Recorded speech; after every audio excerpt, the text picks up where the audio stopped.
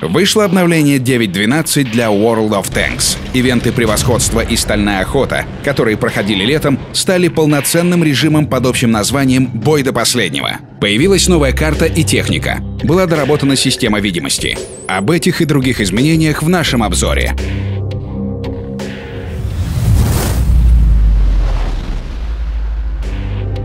Режим «Бой до последнего» отличается от случайного боя несколькими особенностями. Потеряв один танк, вы сможете возродиться и продолжить игру на следующем.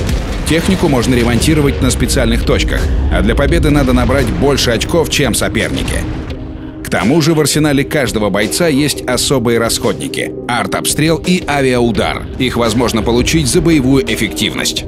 Режим состоит из двух уже знакомых подрежимов — превосходство и стальная охота — они вернулись в игру в доработанном виде и с новыми особенностями. Для превосходства добавлена новая карта городского типа — Берлин. Местность на ней вымышленная, однако некоторые известные достопримечательности найти можно. Появилась линейка специальных боевых задач. По 15 в превосходстве и стальной охоте. Они потребуют мастерски освоить новые механики, а также проверить на прочность давние навыки.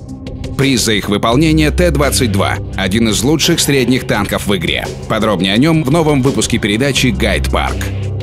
Режиму «Бой до последнего» также будет посвящено отдельное видео.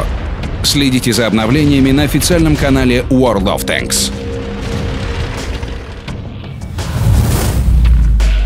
Некоторые изменения в 9.12 коснулись и техники. Британский средний танк ФВ-4202 уходит из игры. Но ненадолго. Через некоторое время он вернется в качестве премиум машины восьмого уровня, а на вершине ветки и в ангарах владельцев его место займет другой средний танк — Centurion Action X.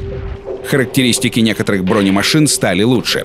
Например, у Мауса и Льва окрепли маски орудия. У Т-23Е3 выросло бронепробитие. Як Тигр 8.8 увеличил максимальную скорость, а у Якт Пантеры, Якт Пантеры 2 и Фердинанда выросла скорость полета снарядов. Десятки танков получили HD-модели. Вместе с новой внешностью некоторые сменили и название. Например, ИС-8 теперь носит имя Т-10. В новой версии доработана система видимости. Основное поле обзора, на котором танк может засвечивать противников сам, осталось нетронутым, а вот за его пределами кое-что изменилось. Раньше зона отрисовки техники имела форму квадрата 1000 на 1000 метров. Дальность видимости напрямую и по диагонали в этом случае получалась разной. Но изменения в движке сделали систему более логичной. Поле отрисовки получило форму круга. Теперь в любом направлении техника видна на одинаковом расстоянии.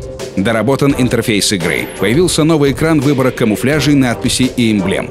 Базовый клановый функционал теперь доступен и в клиенте. Например, основная статистика клана, а также возможность приглашать игроков прямо с экрана после боевой статистики.